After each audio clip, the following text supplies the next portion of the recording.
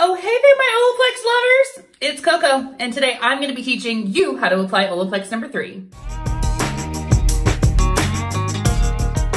Now, I know a lot of you are fans of our Olaplex number three product already, so this is just a refresher course, or this is for our new Olaplex lovers out there that haven't quite used it yet. So without further ado, let's get started. Now, we at Olaplex recommend using number three once a week for your normal hair care routine or up to two to three times a week for damaged hair. All right, so first things first, we wanna apply Olaplex number three to damp, towel dried hair. Now, what does this mean? This means that, for instance, my hair is two days dirty, but I don't have any hairspray or any other products in it that I've used since I last washed.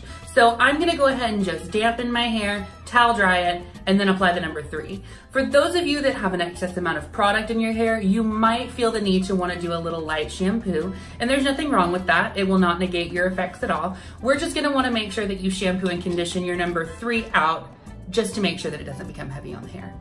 All right, so let's get this hair damp.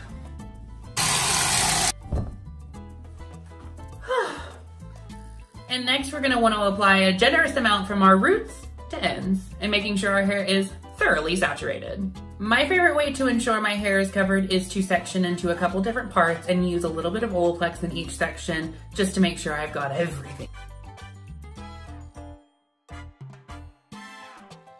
For me, this is my easiest way to conserve Olaplex. Generally, I see about four to five uses from a bottle.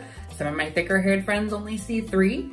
So this is just how I make sure that I prolong that little bottle because a little bit does go a long way. Remember, with Olaplex number three, tiny but mighty.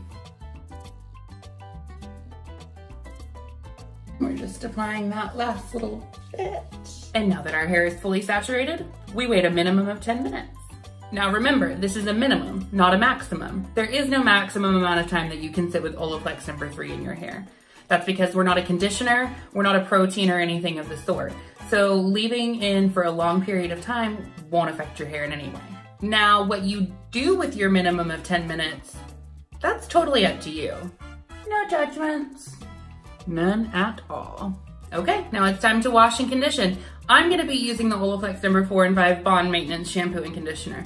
But the amazing thing about Olaplex is that it's super versatile, so it will fit in with any of your hair care lines. And just like that, we're all done. And look how little I used. Thank you all so much for tuning in. And as always, don't forget to like and subscribe to us on all of our social media platforms. That would be Instagram, Facebook, Twitter, and YouTube, of course. Bye, Olaplex fam. See you on the next one.